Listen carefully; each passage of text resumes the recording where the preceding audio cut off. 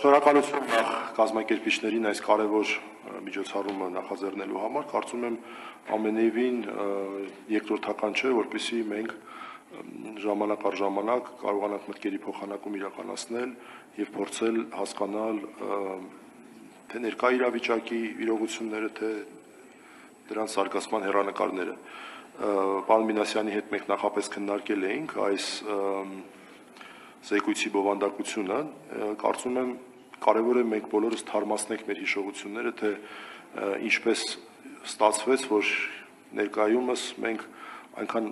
երկրորդական ենք նայում այդ հարցերին, այդ համանդրական ինստիտուտների ձևափոխմանը, այն տեսանկյունից, որ մենք անից որ մենք արդեն ինչ որ առումով երկե ոչ մենք, բայց շատերը համակերպվել են նրա հետ, որ գործ ունենք իշխանությունների կողմից համանդրական ամենակարևոր արժեքների ոտնահարման հետ եւ պետք է խոսել սրա մասին եւ չհաշտվել սրա հետ, որովհետեւ ես վստահ եմ, որը գալու է դրա վերաբերյալ տրվելու են շատ կոնկրետ հարցեր, շատ կոնկրետ տեղերում եւ քանի որ զարգացումները այս ոլորտում կտրուկ չեն, երբեմն մենք մոռանում ենք դինամիկան։ Ես կփորձեմ նաեւ դինամիկան ներկայացնել։ Առհասարակ համանդրական իրավունքում եւ դրան համարժեք քաղաքագիտական կատեգորիաներում մենք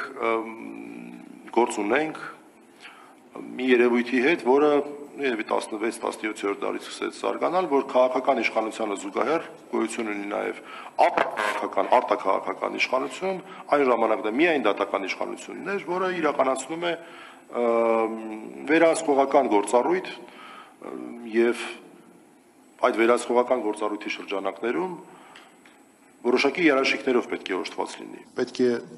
տվյալ պահի քաղաքականությունից դուրս լինի, ավելին դատավորները չպետք է իրավունք ունենան քաղաքական գործունեությամբ զբաղվել, որոշակի աֆիլիացիաներից պետք է հնարավորինս զուրկ լինի եւ տարբեր երկրներում սկսեց ձևավորվել ավանդույթ այս ինստիտուտը ավելի զարգացնելու։ Այդ ավանդույթը ժամանակի ընթացքում նաեւ որոշակի իրավական ձևակերպումներ էր ստանում, ամեն դեպքում երկարատև process էր։ Ժամանակի ընթացքում այս նույն մոդելը, այս անկախ իշխանության մոդելը սկսեց տարածվել արդեն 20-րդ դարում նոր ինստիտուտների վրա եւ ներկայիս զարգացումը համանդրական իրավունքի կարծում եմ բերել է նրան, որ մենք ունենք բազմաթիվ ինստիտուտներ, որոնք որ օժտված են գրեթե կամ շատ մոտ երաշխիքներով։ Այդ երաշխիքների մեջ որ ավելի ուշ շրջանի արգասիկ է, շատ կարևոր էր ոչ միայն այն, որ այդ մարդիկ չկարողանան զբաղվել քաղաքական գործունեությամբ եւ քաղաքականությունից դուրս լինեն, այլ դա ուղեկցվում էր նաեւ որոշակի նշանակման հետ կապված մրցութային ընթացակարգերով, թափանցիկության չափանիշ թափանցիկ չափանիշների ամրագրմամբ եւ դրանց պահպանմամբ եւ այլն։ Ներկայումս կարելի է խոսել, որ բազմաթիվ են այդ մարմինները, դրանք կոչվում են մեր համանդրական իրավունքում անկախ մարմիններ եւ ինքնավար մարմիններ, թե ինչու երկու առանձին տերմին դրա մեջ չեմ ուզում մտնել, ավելի շատ համանդրական ամրագրման հետ է պայմանավորված։ Բազմաթիվ են Բացի դատական իշխանության հետ կապված բազմաթիվ կառույցներից, համանդրական դատարան, բարձրագույն դատական խորհուրդ, նաև մարդու իրավունքների պաշտպանի հաստատությունն է, իրավապահ մարմիններն են, դատախազական մարմիններ, քնչական մարմիններ, այսպես կոչված նոր սերնդի ինստիտուտներն են, օրինակ կոռուպցիայի կանխարգելման հանձնաժողով եւ բազմաթիվ այլ կառույցներ, կենտրոնական ընտրական հանձնաժողովը Այսօր մենք հիմա այդ բոլոր մարմինները, որ թվարկեցի, յուրաքանչյուրը կարծում եմ, ովքեր որ ուշադիր են, կարող են մի պահ պատկերացնել, թե ովքեր են այդ մարմինների ղեկավարները եւ դրանց մեծամասնության պարագայում կտեսնեն ուղիղ աֆիլիացիա գործող իշխանության հետ։ Ինչպես էս ամեն ինչը ստացվեց։ Ես կուզեի նաև սրա զակումնաբանությունը տեսնենք, նաև տեսնենք, որ այստեղ մենք գործ ունենք շատ կոնկրետ նաև քաղաքական բովանդակության հետ։ 2019 թվական կոռուպցիայի կանխարգելման հանձնաժողովը պետք է ձևավորվեր։ Ես կարծում եմ առաջին ծիծեռնակը հենց այստեղ էր կոռուպցիայի կանխարգելման հանձնաժողովում։ Դրա համար այս փորձը մի փոքր ավելի տևակ երկար կներկայացնեմ։ 2019 թվականին պետք է ձևավորվեր Նույնիսկ 2018 թվականին էր նախատեսված վերջերի, որ պետք է ձևավորվեր, բայց այս իշխանությունները ըստ էության խախտելով օրենքի պահանջները չձևավորեցին այդ մարմինը, դա այն ժամանակ շատ հեշտ էր, չէ, հիշում եք այդ լոզունգները թողիկ թող աշխատեն, նոր են եկել, դեռ չեն կարողանում, դեռ պետք է հասկանան ինչ են անում, ինչ որտեղ այս ամենը զեղ չէր տալիս իշխող քաղաքական ուժին։ Եվ բավական երկար տևական ժամանակ այս ամենը հետաձգվեց։ Ճիշտ է, դրա մասին խոսում էինք, բայց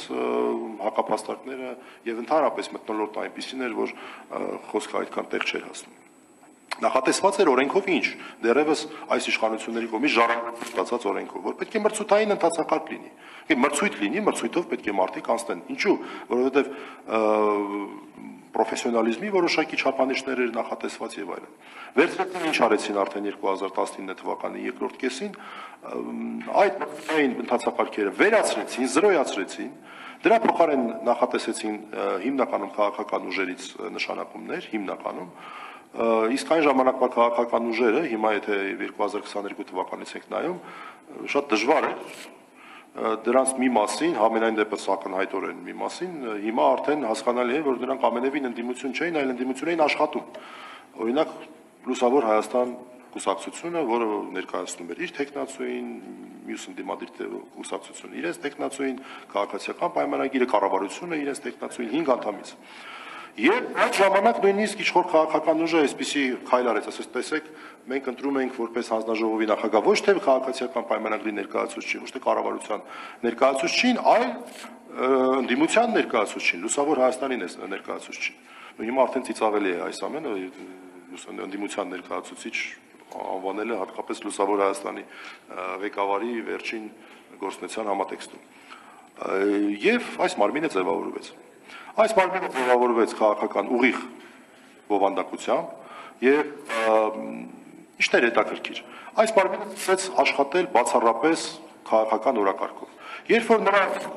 հարցադրումներ էին արվում,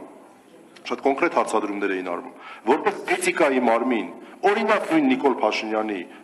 կոնկրետ եղել են դիմումներ արտահայտված մտքերի հետ կապված, որովհետև հնարավոր էր ենթադրել, որ լավ, ասենք թե քաղաքականապես ձևավորվեցին, բայց գոնե ինչ որ ցուցադրականություն ներկայացնեն, որ նրանք անկոմնակալ են։ Նրանք մերժում մերժում էին այդ դիմումները։ Ինչն է հետաքրքիր, ինչու էին մերժում։ Ասում էին հարգելիներս, մենք չենք կարող այս դիմումը վարույթ ընդունել եւ քննել Հիշում եք, հատկապես կոնկրետ ես գիտեմ, որ եղել են դիմումներ քաղաքացիական հասարակության ինստիտուտների կողմից, որոնք օրինակ վերաբերել են այն հայտնի արտահայտությանը, վնգստացող դատավորներ արտահայտությանը։ Ասում եք, գիտեք, չեն կարող այստեղ վարույթ բացել եւ քաղաքապահական պատասխանատվության հարց բարձրացնել։ Այն պարզ պատճառով, որ բացակայում են էթիկայի կանոնները Մյուս կողմը բացարկում էր ասում էր, առաջին էթիկայի կանոնները բացակայում են, բայց սկզբունքները ձեռնարկելու նախատեսված են։ Եվ երկրորդ, բայց էթիկայի կանոնները ով պետք է ընդուներ։ Գիտեք որն է պատասխանը։ Հենց իրենք էլ պետք է ընդունեն։ Դուք իրենք պետք է էթիկայի կանոններ ընդունեն, որ դրանք կիրառեն, չեն ընդունում։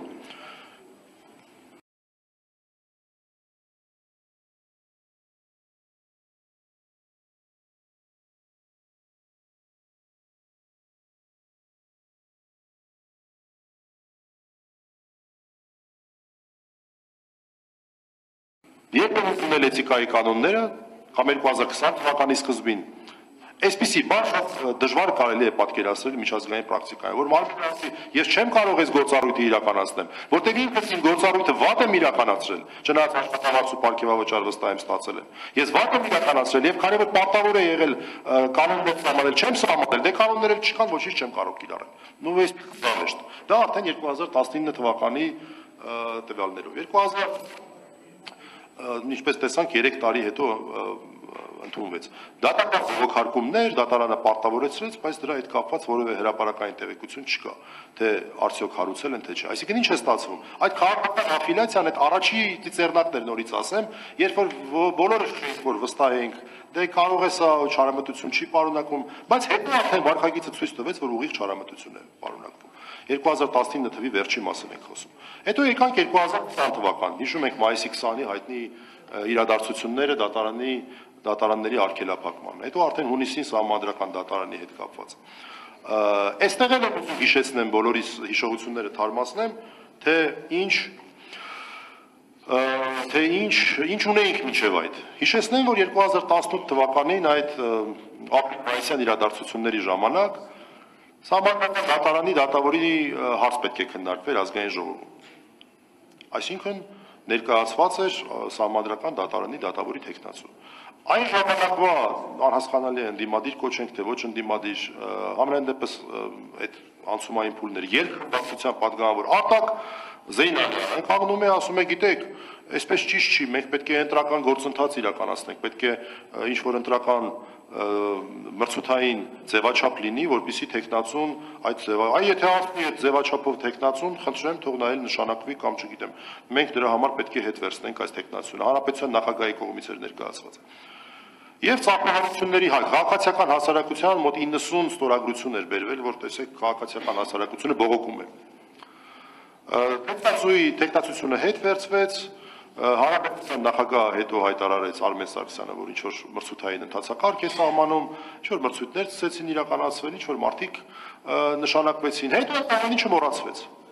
Եվ այդ ամեն ինչի վերջնարդյունքը, տեսեք, ելակետը հիշենք, Արտակ Զեյնալյանի հայտնի ելույթը 2018 թվականի ապրիլի վերջին, ներողություն մայիսի սկզբին, ազգային ժողովում այդ արժեքների ամրագրման, որ տեսեք, մենք այսպիսի պայմաններում պետք է անպայման մրցութային ընթացակարգ, եւ հետո այս ամենը հանգում է Սեդա Սաֆարյանի նշանակմանը, որ պաշտոնապես հայտարարում է, որ սահմանադրական դատարանը գնում մարտի 1-ը բացահայտելու համար սկզբնակետը, ելակետը եւ վերջնակետը տեսնենք։ Քանի որ սա տևական process է, մենք sense այդ երկուսը իրար կողքի չենք դնում, բայց որ դնում ենք, տեսնում ենք, որ նենգափոխման փաստը ուղղակի ավելի քան ակնհայտ է։ Ինստիտուտին նենգափոխման փաստը ուղղակի ակնհայտ է։ Եւ ես հանրային բարոյականության նաեւ հարց բարձրացնեմ նույն Արտակ Զինալյանը, որ իր վրա պատասխանատվություն էր վերցրել ազգային ժողովից այդ հարցը բարձրացնել, առաջինը նա, որտեղ նա էր հարցը բարձրացնողը։ Կարծում եմ նա ամենամեծ բարոյական պատասխանատվությունը արձագանքել նույն Սեդա Սաֆարյանի նշանակման ոչ մրցութային ակնհայտ քաղաքական հանգամանք։ Բայց ես չգիտեմ գուցե ես չեմ նայել լավ լրահոսը, բայց այդպեսի բան չեմ տեսել, չեմ բացառում որ նաև Վարոզ Զեյնալյանը արձագանքած լինի։ Այլ ինստիտուտների հետ կապված մենք նույնը նույնը կարող ենք ասել իրավապահ մարմինների պարագայում նույնը կարող ենք ասել նույն այս նենգաբողման գործընթացը ակնհայտ է եւ երևի թե ամենավառ դրսևորումը դա կենտրոնական ընտրական հանձնաժողովի պարագան է, երբ որ ակնհայտ քաղաքական այսպես գործնություն իրականացնող անձ, ազգային ժողովի падգամավոր, որը նշանակվում է ուրեմն կենտրոնական ընտրական հանձնաժողովի նախագահ, նախորդ օրը դադարեցնում է իր անդամակցությունը, այսինքն ինչ, քաղաքացիական պայմանագրի գաղափարախոսությունից չգիտեմ, որն է, անկեղծ չգիտեմ, բայց ընդունենք թե կա այդպիսի գաղափարախոսություն, այսինքն նախորդ օրը այդ մարդը այդ գաղափարախոսության կարողն է, չգիտեմ, քաղաքացիական պայմանագրի գաղափարախոսությունը նրա համար կարևոր, այսպես, առաջնահերթություն է, մեկ էլ գիշերը քնում զարթնում է, հաջորդ օրը դե չէ, այդ գաղափարախոսությունը կողք ենք թողնում, ես գնում եմ կենտրոնական ընտրական հանձնաժողով Ճիշտ չէ։ Հա, Տիկին Պոստանջանը գիտեք, Facebook-ում այդպեսի բան կա, չէ՞, մարդիկ կան ինչ-որ բան են գրում, տակը լայքում են իրենց, դե հիմա այդ մարդն էլ նույն մշակույթի կրող է, նորմալ է։ Սա նույնպես այս ուրեմն մոտեցման արտահայտությունն է, բայց պետք է նշենք, որ հա, դու բարձրագույն դատական խորհրդի մասին չնշենք, Արեն Անդրեասյանի Վարենապետյանն էլ փաստորեն էլի կուսակցության անդամ էր, կարծեմ կենտրոն տարածքային ստորաբաժանման ղեկավար էր, էլի մի օրվա մեջ որոշեց երևի թե որ այլևս այդ գաղափարակցության կրող չէ եւ իր հետ նաեւ Վարսագույն դատական խորհուրդ գործողվեց իր տեղակալ հարգելի Տիկին Թումանյանցը